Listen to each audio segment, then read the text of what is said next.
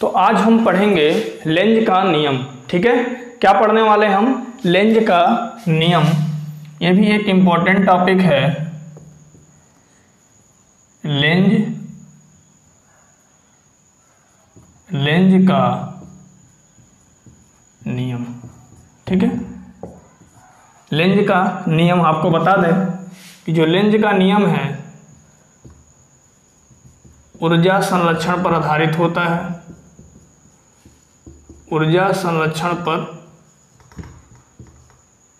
आधारित होता है। कैसे? अभी हम इसकी व्याख्या करेंगे। ठीक है? एग्ज़ाम में आता है कि लेंज का नियम क्या है? यह ऊर्जा संरक्षण पर कैसे आधारित होता है? इसकी व्याख्या करें। ठीक है?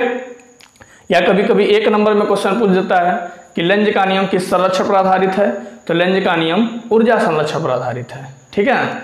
तो फैराडे का प्रयोग वाला वीडियो आप देखे होंगे। यदि फैराडे के प्रयोग वाला वीडियो आप नहीं देखे हैं तो एक बार फैराडे के प्रयोग वाला वीडियो आप देख लें तो लेंज का नियम समझने में बिल्कुल भी दिक्कत नहीं होने वाला है। ठीक?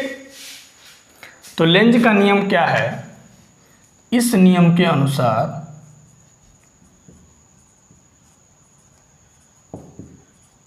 इस नियम के अनुसार किसी विद्युत परिपथ में, किसी विद्युत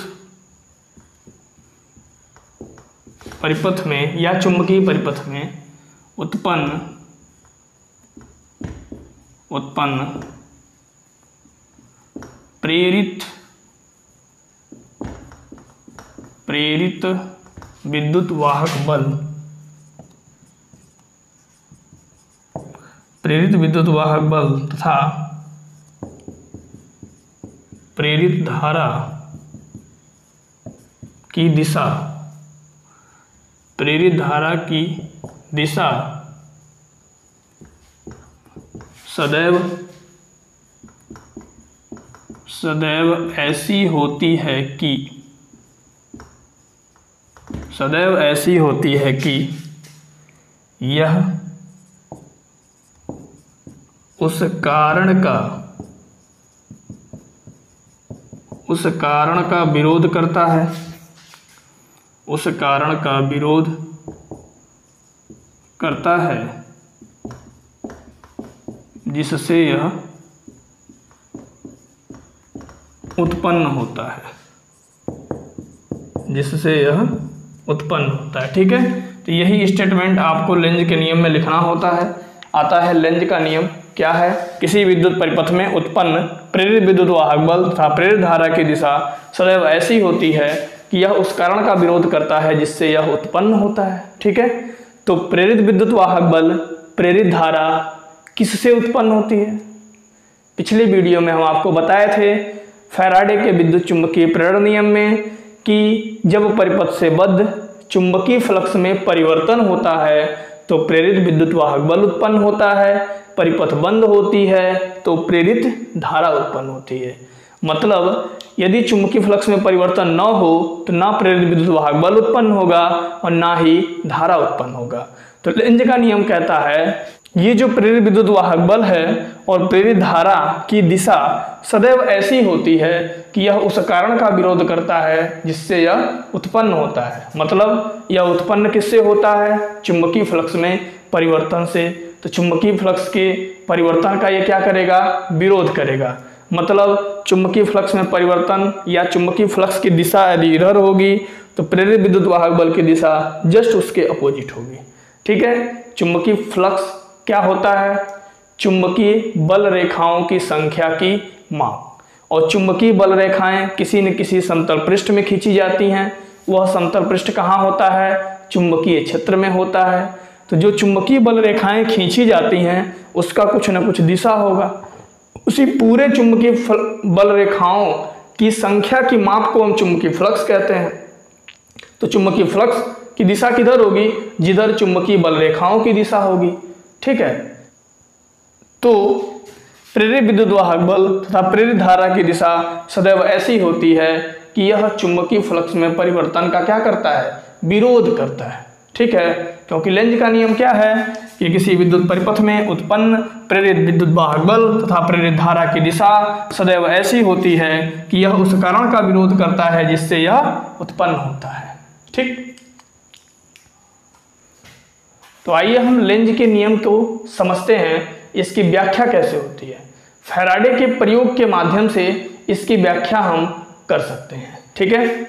जैसा कि फैराडे ने अपने प्रयोग में क्या बताया था? कि ये एक कुंडली लिया था, जिसके दोनों सिरों को किसी धारा मापे से जोड़ दिया गया था, ठीक? जब चुंबक को कहीं स्थिर अवस्था में रखा हुआ था तो इसके धारा मापी में कोई विक्षेप नहीं उत्पन्न हो रहा था। मतलब इसमें जो धारा आती थी वह शून्य आती थी। विक्षेप कुछ नहीं हो रहा तो धारा क्या बहेगा? शून्य बहेगा। फिर उन्होंने उठा करके कुछ दूरी पर रखा। फिर देखा, कुंडली में कोई विक्षेप नहीं। धारा मापी में कोई विक्षेप नहीं, इसका मतलब धारा फिर शून्य। फिर उन्होंने क्या किया? चुंबक के उत्तरी ध्रुव को कुंडली के तरफ़ गत कराते हुए लेके आए।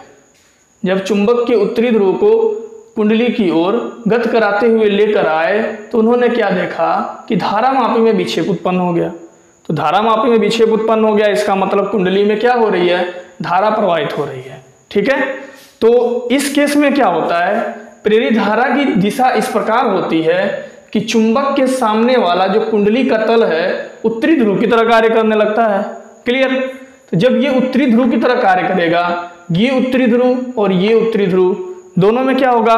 प्रतिकर्षण होगा। जैसा कि आपको पता है कि जो सजातीय ध्रुव होते हैं, सजातीय मतलब उत्तरी उत्तरी ध्रुव एक दूसरे को प्रतिकर्षित करते हैं, उत्तरी दक्षिणी ध्रुव एक दूसरे को क्या करते हैं? आकर्षित करते हैं। तो जब यहाँ पे कुंडली में दक्षिणी ध्रुव उत्पन्न हो जाएगा। सॉरी जब यहाँ पे कुंडली में उत्तरी ध्रुव उत्पन्न हो जाएगा तो ये उत्तरी ध्रुव, ये उत्तरी ध्रुव क्या करेंगे? प्रतिकर्षण का अनुभव करेंगे। ठीक है? लेकिन हम क्या कर रहे हैं? चुंबक को कुंडली की तरफ़ गत करा रहे हैं। लेकिन यहाँ उत्तरी ध्रुव उत्पन्न होने के कारण इनमें प्रतिकर्षण होने लगेगा। मतलब चुंबक की गति का क्या होने लगेगा? विरोध होने लगेगा। चुंबक की गति का हमको होने लगेगा? विरोध होने लगेगा। तब हमको चुंबक को इस दिशा में चलाने के लिए कुछ यांत्रिक कार्य करने पड़ेंगे और यही कार्य विद्युत ऊर्जा के रूप में रूपांतरित हो जाएगा। मतलब क्या हुआ? ऊर्जा एक रूप से दूसरे रूप में बदल गई। मतलब लेंज का नियम ऊर्जा संरक्षण के सिद्धांत पर आधारित होता है। ठीक है? सेम कंडीशन इसमें होगा। जब उन्होंने क्या किया? चुंबक के उत्तरी ध्रुव को कुंडली से दूर ले आने का प्रयास किया। कुंडली से दूर ले आने का प्रयास किया, पुनः उसमें विक्षेप उत्पन्न हुआ। विक्षेप उत्पन्न होने का मतलब कि उसमें पुनः धारा कुंडली में प्रवाहित होने लगी और प्रेरित धारा की दिशा इस प्रकार हुई कि चुंबक के सामने वाला जो कुंडली का तल है, दक्षिणी ध्रुव की तरह कार्य करने लगा। अब इधर उत्तरी ध्रुव गति कर रहा है इधर और इधर दक्षिणी ध्रुव। आपको पता है कि उत्तरी ध्रुव और दक्षिणी ध्रुव एक दूसरे को आकर्षित करेंगे। वो जाना चाह रहा है इधर, लेकिन इधर दक्षिणी ध्रुव उत्पन्न होने के कारण ये क्या हो रहा है? आकर्षित होना चाह रहा है। तो पुनः यहाँ पर गति का विरोध हो रहा है, चुंबक के गति का क्या हो रहा है? विरोध हो रहा है। ठीक है? तो चुंबक को हमको दूर ले जाने के लिए पुनः हमको यांत्रिक कार्य करना पड़ेगा और यही कार्य विद्युत ऊर्जा के रूप में रूपांतरित हो जाएगी। जैसा कि हम जानते हैं, ऊर्जा संरक्षण का जो सिद्धांत है, क्या कहता है? ऊर्जा न तो उत्पन्न होती है और न ही उसे नष्ट किया जा सकता है। ऊर्जा केवल एक रूप से दूसरे रूप में बदल जाती है। अतः लेंज का नियम ऊर्जा संरक्षण के सिद्धांत पर आधारित होता है। फिर फिर आइए, इसमें भी वही सेम कंडीशन होता है। जब हम दक्षिणी ध्रुव को इधर लेके आएँगे यहाँ कुंडली के तल पर क्या हो गया? दक्षिणी ध्रुव उत्पन्न हो गया। पुनः यहाँ गत का विरोध होगा। ये इस कंडीशन में भी गत का विरोध होगा। ठीक है? तो आइए देखते हैं लेंज के नियम को आप लिखेंगे कैसे। ठीक है? अब देखिए, क्या लिखेंगे? जब हम चुंबक के उत्तरी ध्रुव को कुंडली के पास ले आते हैं तो कुंडली में प्रेरित धारा की दिशा ऐसी दिशा में प्रवाहित होती है। जब हम चुंबक के उत्तरी ध्रुव को कुंडली के पास लाते हैं तो कुंडली में प्रेरित धारा ऐसी दिशा में प्रवाहित होती है कि कुंडली का चुंबक के सामने वाला तल उत्तरी ध्रुव की तरह कार्य करता है। जैसा कि हम आपको बताएँ, अतः यह पास आते हुए चुंबक को दूर हटाने का प्रयत्न करता है, अर्थात उसकी गति का क्या होता है? विरोध होता है। इसी प्रकार, जब चुंबक के उत्तरी ध्रुव को कुंडली से दूर ले आते हैं तो कुंडली में प्रेरित धारा की दिशा इस प्रकार होती है कि कुंडली के सामने वाला तल दक्षिणी ध्रुव की तरह कार्य करता है। अब यह चुंबक को अपनी ओर क्या करेगा? आकर्षित करता है। पुनः उस गति का विरोध होता है। इसी प्रकार चुंबक के दक्षिणी ध्रुव को पास ले आते हैं। चुंबक के दक्षिणी ध्रुव को क्या करते हैं? पास ले आते हैं अथवा दूर हटाते हैं। तो कुंडली में प्रेरित धारा की दिशा इस प्रकार होती है कि चुंबक की गति का विरोध करता है। मतलब यहाँ भी चुंबक की गति का विरोध होगा। क्योंकि ये क्या देखो, पास आने का चुंबक क्या हो रहा है? कुंडली के पास आने का कोशिश कर रहा है। लेकिन यहाँ पे दक्षिणी ध्रुव उत्पन्न हो जाने की वजह से इन दोनों में क्या होने लगेगा? प्रतिकर्षण होने लगेगा। गति का विरोध होगा। यहाँ भी गति का विरोध होगा। ठीक है? अतः स्पष्ट है कि प्रत्येक दशा में चुंबक को गतिमान करने के लिए इस विरोधी बल के कारण कुछ यांत्रिक कार्य करना पड़ता है। ठीक यही कार्य हमें कुंडली में विद्युत ऊर्जा के रूप में प्राप्त होती है। कार्य भी क्या है? एक प्रकार की ऊर्जा है। विद्युत भी क्या है? एक प्रकार की ऊर्जा है। जो हम कार्य किए, वो विद्युत ऊर्जा के रूप में क्या हो गया? प्राप्त हो गया मतलब ऊर्जा एक रूप से दूसरे रूप में बदल गया। ऊर्जा संरक्षण का नियम भी यही कहता है, अतः लिंज का नियम ऊर्जा संरक्षण के सिद्धांत पर आधारित है। बात क्लियर? यदि आपके एग्ज़ाम में आता है कि लेंज का नियम क्या है, बताइए कि लेंज का नियम ऊर्जा संरक्षण सिद्धांत पर कैसे आधारित है तो आप पूरा डिटेल में ऐसे लिख देंगे। तो लेंज का नियम क्या है? किसी विद्युत परिपथ में प्रेरित विद्युत वाहक बल तथा प्रेरित धारा की दिशा सदैव ऐसी होती है कि यह उस कारण का विरोध करता है जिसके कारण यह स्वयं उत्पन्न होता है। बात क्लियर?